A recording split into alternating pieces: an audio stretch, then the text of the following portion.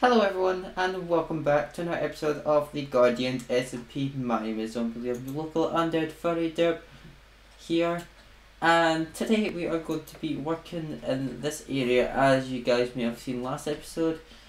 However, it's a very miserable rainy day as you can't really see from the glass right now but it is raining, you can hear it and Talis has been here doing some work and we have our checkouts now and this is where we're going to be putting the diamonds for the profit so so far I've made down profits. Tally took four.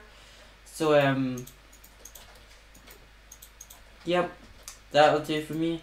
And we are going to start doing a parking lot over here and I'm so excited for this because I have been thinking of what I want to do this for at a bit of time we have enough space we're probably going to bring it down here a bit to the front of the road. I'm going to ask the guys if I can build a road leading up to my shop. In the shopping district past Gabs and Tally's shop. But yep other than that we are going to have some fun building this. I'm going to go ahead and gather some materials and we are well, going to build this. So let's get to it. Alright we have done the boundaries of the road, you could say. I would guess the boundaries is like the layout. This isn't hundred percent the layout that I'm going to go with. It's just like a rough idea. So like all of this space in the shopping district is going to be transformed. Um, I'm not sure about this just now. I feel like it needs to go down a lot quicker uh, than what it does because obviously it was Italian shop here so I might need to bring it down a little quicker. Uh, also it's quite close so I'll probably need to move it a couple of blocks this way over a bit to give Tally Shop a bit more room to breathe and stuff like that. But like I said, this is just temporary, so yeah, I probably will move it a couple of blocks over. But yeah, let's go and start filling in the concrete for the top over here, and hopefully we'll have enough to finish Okay, so all of the concrete is down. This is about five or six stacks of concrete. Um, turns out we're going to need a couple stacks more. Um, this was a lot. I thought I had a lot of concrete, but no. I am going to need more. I have also put out a trim around here using this for like the the sidewalk area or the pavement, depending what you will call it. They're like big concrete slabs uh, just lying out like that, which is nice. I like this. Uh, we finally have a way into there. Actually, guys, I was wrong. We have one more concrete left. Nowhere concrete. So I think um, I'm going to move this and probably start working on this, getting some more concrete going. Alright, so we've done this. This goes down five. So these are all five by five squares basically comes down, I need to do a wee bit of terraforming down at the bottom here. But this is starting to look good once I add the, little metal bits around the side of the path walks. I think this will start looking good. There's enough space in between these shops for a pathway to go there. Which I'm happy about. But yeah, hopefully people are going to be okay with this. It's quite big. It takes up a lot of room. But maybe people can capitalize on it by having like a little shop here, something here. I'm not sure.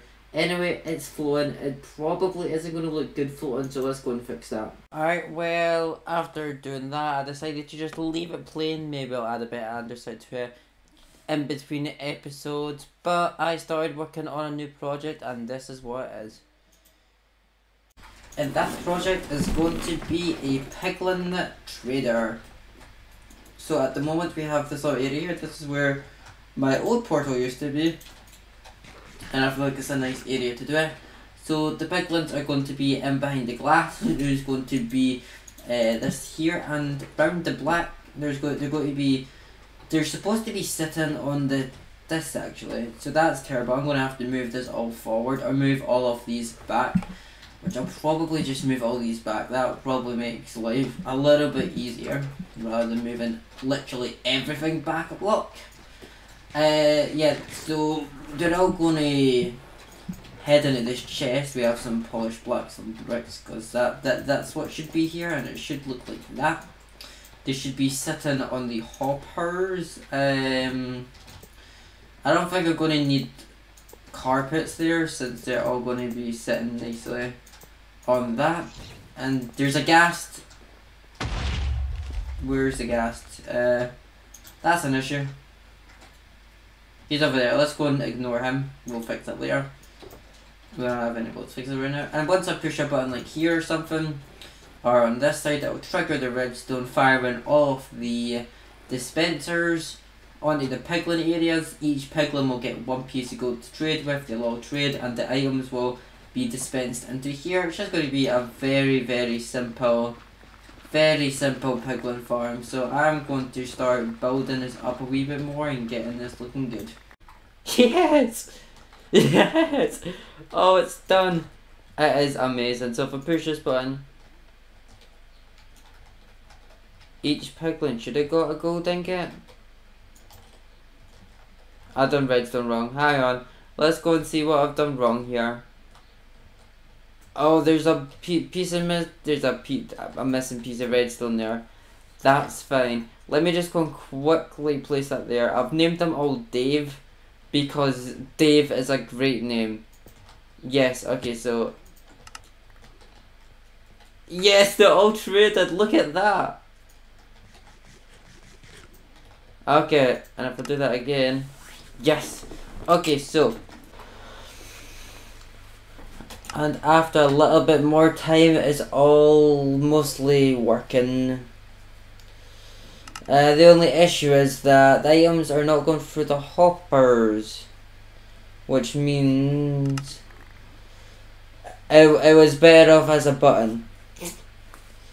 So this whole timer thing is great and all, but I'll have to turn it off regularly for the items to catch up. Which is it's annoying, but it's fine. It's fine for just now. We're just going to break this piece of redstone.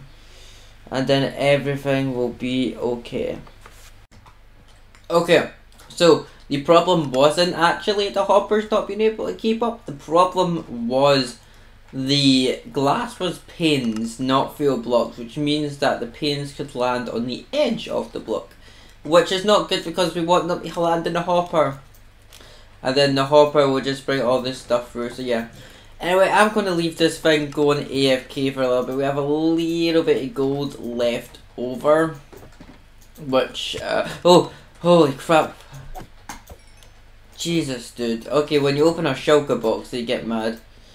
Which, uh, yeah, I'm just going to, um, I was going to split up and put them into their machines so they can continue trading for a wee bit longer. But I'm thinking we may need a bit more storage than this, possibly. But for now, it's fine. Alright guys, we're back after all the gold has been done and we have got all these shulker boxes for all the materials. String, ender pearls, nether quartz, spectral arrows, blackstone, iron nuggets, nether bricks, obsidian, crying obsidian, leather, nether bricks again, is that two shulker boxes in there, bricks? Yeah, okay. Let's just quickly add them together. Didn't realize that. Uh, fire resistant potion, gravel, soul speed books, fire charges, and soul sand.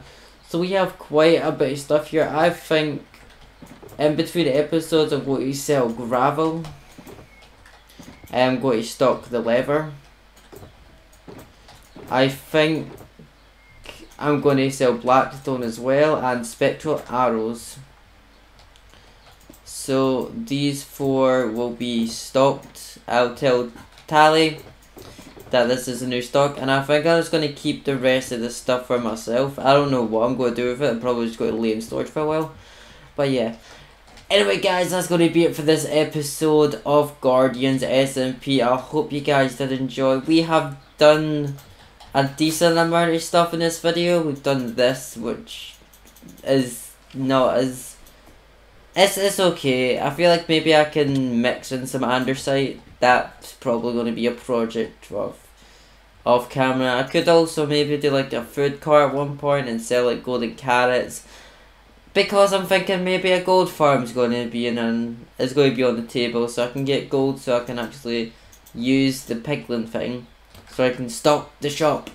But yeah, other than that, that's going to be me, guys. Hope you guys did enjoy, and I'll see you guys all in the next episode. Goodbye.